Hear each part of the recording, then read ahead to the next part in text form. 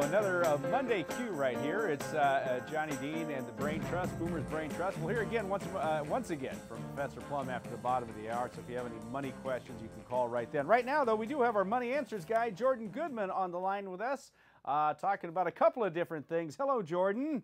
Great to be with you, John. Yeah, so I, I'm, I'm watching 60 Minutes last night, and I actually took some notes because I knew Yes. I was going to do that. Uh, Right. Mike, Michael Lewis. Now, I, I wasn't aware. Uh, supposedly, this book he's written was sort of anticipated Oh yeah. uh, by by a lot of people. Uh, in, in case anybody missed it, well, I'll let you fill fill people in, Jordan. But a fascinating story, and frankly, not a whole not not not surprising to me at all. What do you think? Well, I don't think the overall thing's surprising. I think some of the details may be surprising, but Okay. basically the idea, the bottom line is he thinks that the stock market is rigged against the small investor uh, by these high-frequency traders. Now, high-frequency traders are uh, trading stocks literally by the millions, literally in the milliseconds, not the seconds, Yes. milliseconds. Yes. and um, they don't care what it is. They're just buying and selling like crazy. And this is 50 to 70 percent of the volume on the stock exchange these days. I mean, Well- this is the way most trading is done. Well, i i it's true. Now, now this guy Brad Katsuyama, who is with the uh, Royal Bank of Canada, would notice Right. that his trades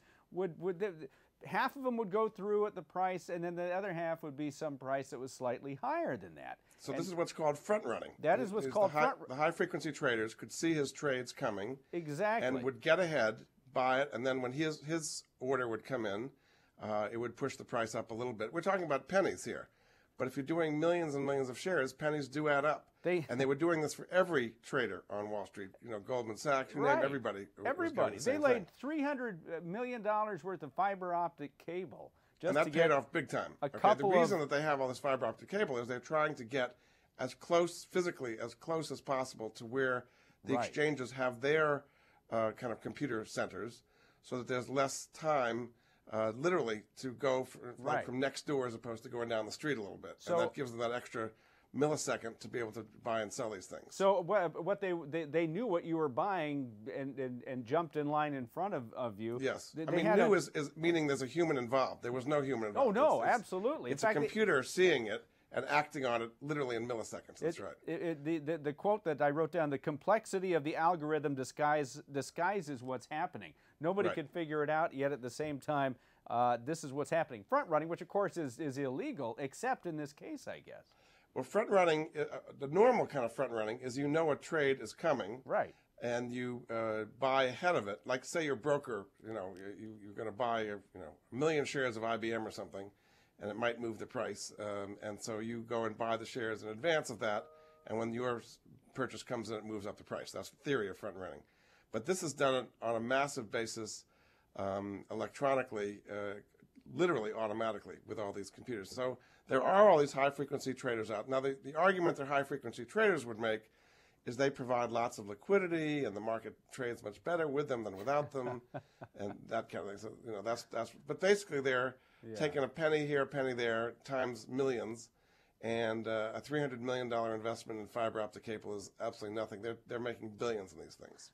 And you know, I think people might look at it and say, okay, well, half of the, uh, you know, I wanted to buy X Y Z stock at twenty five dollars, and it wound up being twenty five dollars and five cents, something like that, you know, and and It, somebody it might. doesn't affect the individual that much, but I think it's part of the uh, general skepticism of the market. Yeah, it- is, is it rigged against me? And the answer is yes, it is. I mean, there's no way uh, an institution, never mind individual, can go up against these computers uh, Right. that are trading this fast with this much information. And it's not only front running. The other thing they do is they trade in advance of news. Okay, there have been a lot of reports recently. They'll get press releases on uh, consumer confidence, you know, some economic number that comes out, literally one second before it's released, and they've already traded like 10 million times in that one second. Yeah, Uh, how, how can they do that on news? Because somebody has to look at it and decide. No, no, no, no. No? It's, it's all programmed in. No, no. There's no human necessary. So the news comes in from somewhere, and it's it's it's interpreted A- by a a conference board program. releases consumer confidence number, and if it hits this, you do this. If it hits this, you do that. It's just automatically programmed to act no matter what. There's no human intervention. You, you know, you can have human intervention in one second, right? Right. And it, it just does it, bang, and then they ask questions later. You know, it's uh, shoot first, ask questions later. Well, you know, this is one of those pro- one of those issues I think where you say, "Oh, gosh darn it, here we go again." Certainly doesn't help Wall Street's image, doesn't help them from a PR standpoint. But once again, sure. you kind of, as a consumer, you say, ah, "I can't do anything about it." So you're telling Well, me the thing what the is, it- problem it is, and I, pe- there's no solution. There's a lot of people that are still not in the stock market, John, and they've missed out on an enormous rally for the last five years here. And I mean, part of it was the fall of 2008 and the bailing out of the banks and all that happened then. But I think there is a general uh, skepticism of the market. Remember, it was a few years ago we had the flash crash, Yeah. where the, the Dow fell a 1000 points in about two minutes. Um, that was all high frequency trading, and it was probably a uh, wrong high frequency trading. Um, but it- it just makes people like, what's going to happen next? And it keeps them out of the market. There's tons of money in cash, in CDs, in money market funds, earning zero, uh, just out of fear of this. So it, it does have an impact, I think. Yeah, well, you're you're right, and as I said, the PR doesn't help either. All right, so now today's a, a deadline of some sorts. Right. Now it's a soft deadline. I don't know if uh, considered a hard deadline for Obamacare. There are no the hard ACA. deadlines for Obamacare. No. So so so what? wha- I mean, what technically happens at midnight tonight? What technically happens is if you don't have insurance by midnight tonight, uh, you will be paying a penalty. Uh, in the first year, it's $95 or 1% of adjusted gross income. It goes up in, in future years. But there's so many exemptions and excuses. And if you, if you say you tried to get on to the site before now and couldn't complete it, they'll, they'll let you off the hook for that. If you say you have a hardship, which is whatever you say is a hardship, you can get off of that. I mean, this is about the softest deadline I've ever seen. Actually. Well, and, and I guess you're on the honor system, is what they said. That you go on the Yes. website, and if there's a, there's a box, and I haven't checked this, but I think there's a box on there, and you just click it and says I, you know, it says I tried. I made a good, yeah, yeah. I was I, the word they used was stymied. I don't know what that, you know, if that. That's a technical term. Yes, it is, yes. yeah. I was stymied by the by the uh, complexity of all this, or I couldn't get on, and they were having more problems again today, I guess, with the with. with That's the right. The website website's itself, been having so- trouble today. But I mean, the point is, you should be insured, uh, Mm-hmm. even what, no matter what the deadline is. And there are these four levels now: platinum, gold, uh, Mm-hmm. silver, and bronze.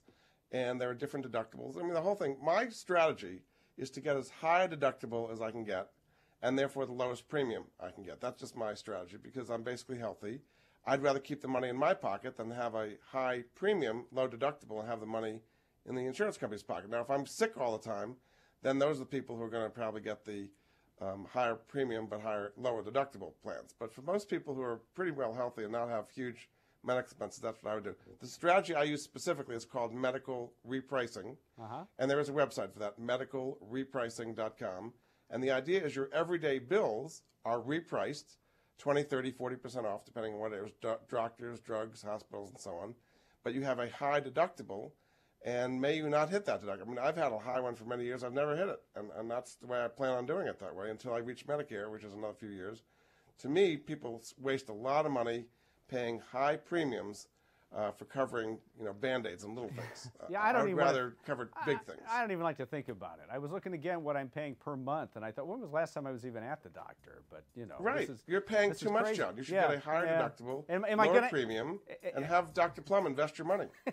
am I gonna am I gonna act on it? Probably not. This is just how I am. Uh, MoneyAnswers.com. Jordan Goodman. All the money answers and all the resources are right there. Right. Absolutely. Glad to, to get emails from you folks all the time, and always glad to help them. All right, Jordan. Thanks very much. We'll talk to you again next Monday. Uh, thank you, John. All right, take care. We'll get updates on that ACA thing too, by the way, from Jordan next time. We'll see what happens. Any penalties? I don't know. Uh, Brain Trust panel coming back. Uh, Johnny Dean and the Boomers Brain Trust. We are back right after this.